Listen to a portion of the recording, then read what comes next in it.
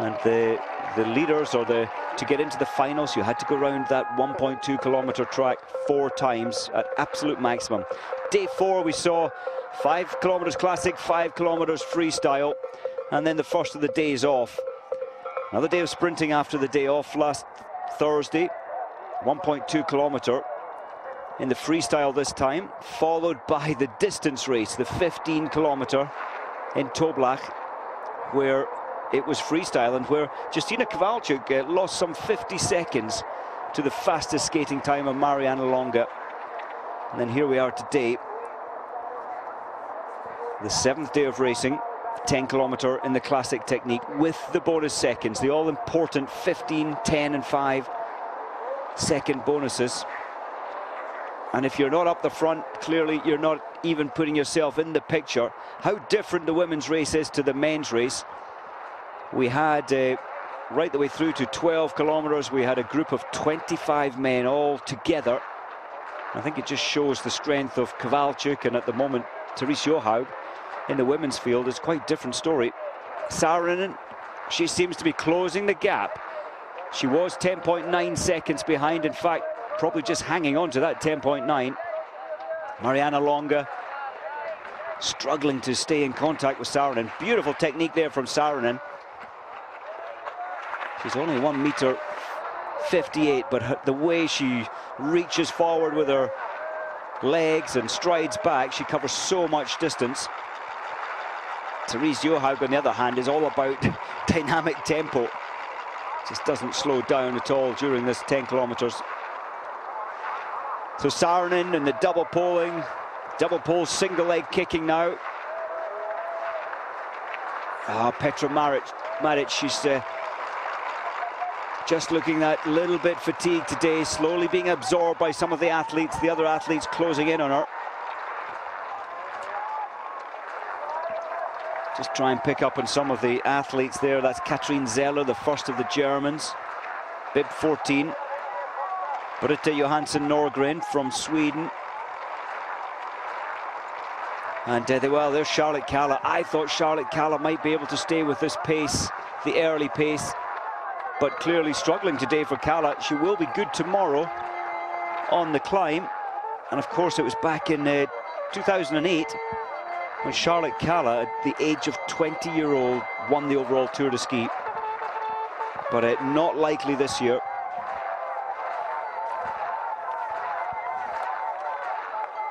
Just looking at the journey which Kowalczyk has taken over the last four years. The first tour she was 11th, the second tour she was 7th, then 4th, and she won it last year and she's looking like she's setting herself up for a two in a row victory this time so Kowalczyk, yeah, sorry, Johaug, Kowalczyk, Saarinen, the top three, but the further 10 seconds taken off Saarinen's time was 10.9 at 3.3 kilometers. Marianna Longa slipping badly, 27 behind.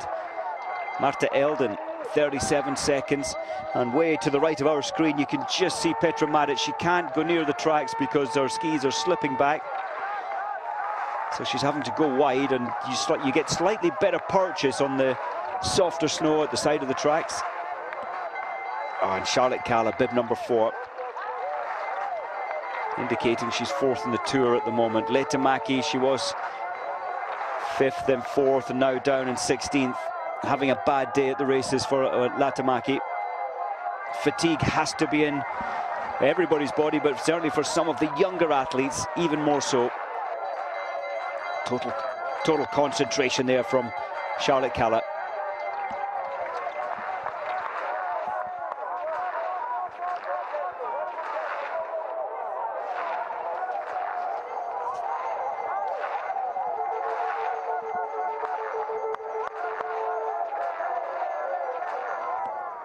So just over half distance and no change at the front. Oh, well, occasional changes at the front. Sometimes we see Therese at the front, Johaug from Norway, and then Justyna Kowalczyk. But Justyna will be lining herself up very, very soon for the second of the bonus points after another complete rotation into the stadium. I'm just looking at Therese Johaug, 2.59 behind at the beginning of the day. Well, she certainly can move up into from ninth place all the way up into fifth or fourth, and that really will set her in off in a good position tomorrow on the nine kilometer race, which finishes at the top of the huge alpine downhill section. Alpe Cermis. An incredible finish to this eight days of intense racing where the tracks or the downhill slope will be lined with spectators. And well, a sign of respect for what these uh, women and men have been through over the last 10 days. Well, there's Petra Majdič.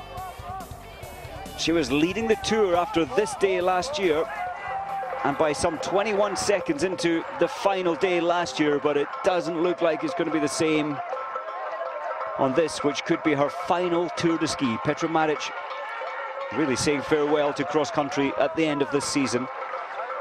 Marianna Longa, we saw her fall at the in the first couple of hundred meters.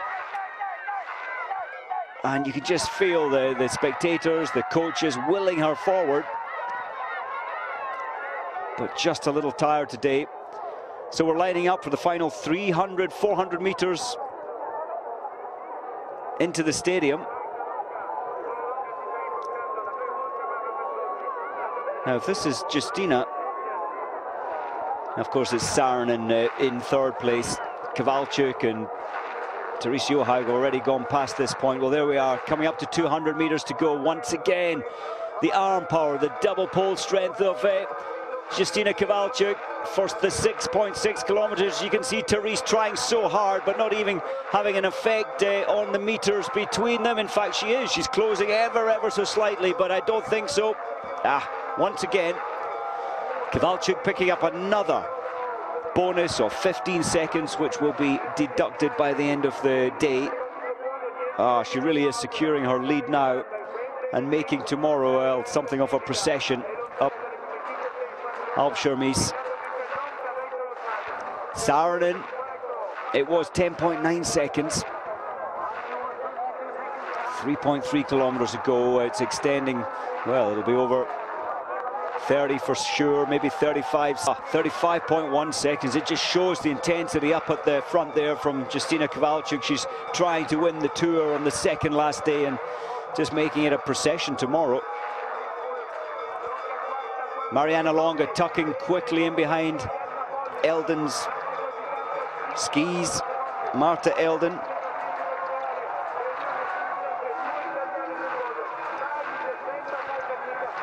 Kristoffersen there, Östberg, another Norwegian, but uh, Petra Majdič hanging on in there, but it's, it's very tough for the Slovenian. Body looks extremely tired. And she did say that she would suffer from the sprint races. Once again, confirmation, Justyna Kowalczyk, 15 seconds. Therese Johaug, once again, the 10 seconds. And once again, Saarinen, five second bonus. And this is how Justyna put it together.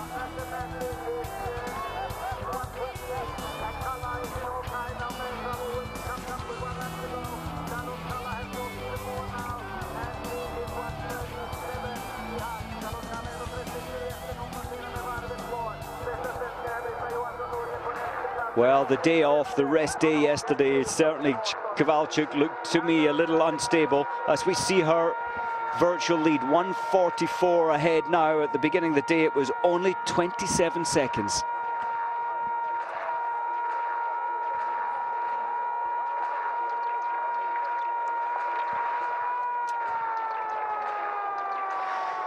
Well, now closing into the final stages, about three kilometres to go in this 10 kilometre mass start classic race. Second last day on the Tour de Ski. And Therese Johaug trying so hard to give herself a chance tomorrow on Alp Cermis. Nine kilometres freestyle. And Therese Johaug, one of the lightest athletes in the field of 39, trying to set herself up for an attack tomorrow to try and move closer and closer to the podium. Well, what a turnaround in performances today. Kowalczyk only led by 27.2 seconds ahead of Arianna Follis, who's now in sixth position, but 52 seconds behind, and that isn't taking the 30 seconds bonus, which Kowalczyk has just won herself into account. Marianna Longa, who were just uh, just tucked in there behind Saarinen. Marianna Longa was 32 seconds behind, but, well, it's a huge margin now, over two minutes behind. And the Norwegian coach is just uh, trying to give Therese Johaug some more push. Now, Therese really wants to place herself, I would say, some 40 metres ahead of Kowalczyk in the final 200 metres if she safely wants to take the final bonus sprint to take the victory in this race. Look at the different tempo there, the super strong stomach and upper body and arms of Kowalczyk compared to the incredible tempo there from Therese Johaug.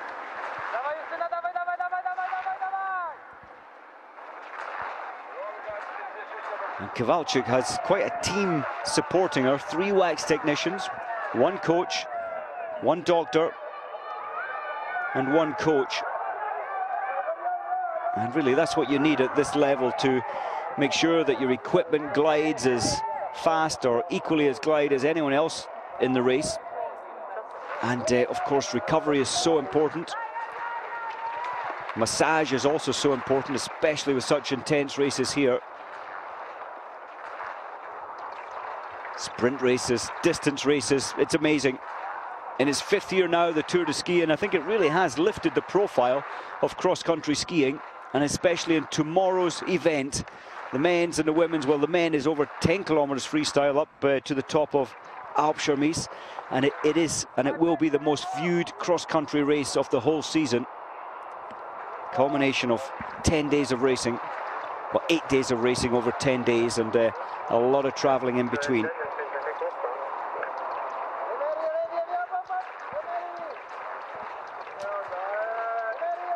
Marta Elden alongside Marianna Longa with Saarinen fading twice. She crossed the halfway or the, the lap line and in third place. Follis was 52 seconds. She seems to have found something special, something extra energy from somewhere. Arianna Follis moving forward. Baby Levin just gone past.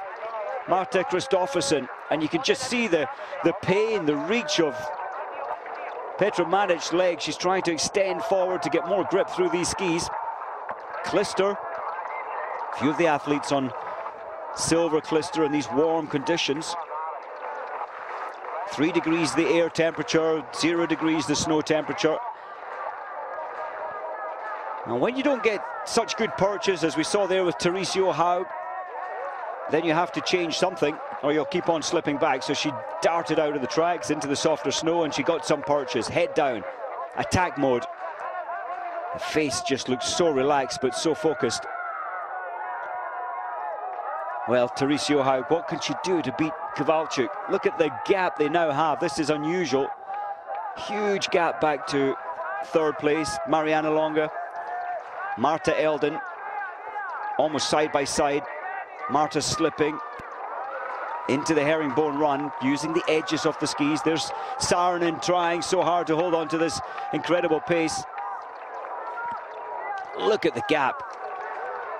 Johaug, Kowalczyk working together almost, or pushing each other on at the front and absolutely destroying the rest of the field.